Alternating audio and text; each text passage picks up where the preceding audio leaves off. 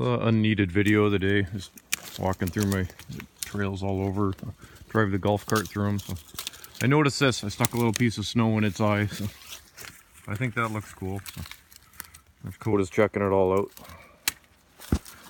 Not sure what it looks like. It's the Grinch or Ogopogo or it's like a sea lion.